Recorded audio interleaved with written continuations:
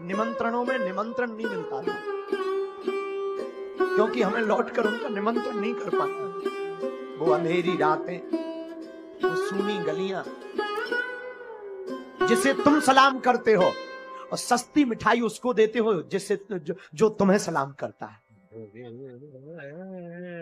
बहुत उल्टे हो तुम। तुमसे ज़्यादा उल्टा कोई नहीं है। तुम महँगी मिठाइयाँ उनको देते हो।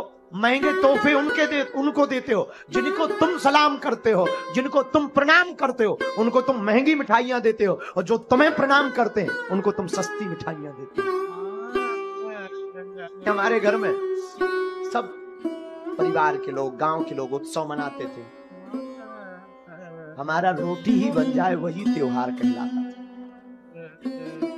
और हमारी माँ ने एक बात सिखाई भील बाड़ा के लोगों आपको हम अपना परिवार का सदस्य मानते हैं। हमने तो भोग लिया, हमने तो दुख सह लिए, पर हम चाहते हैं भारत का कोई भी गरीब भाई अपनी बहन के विवाह के लिए पैसे।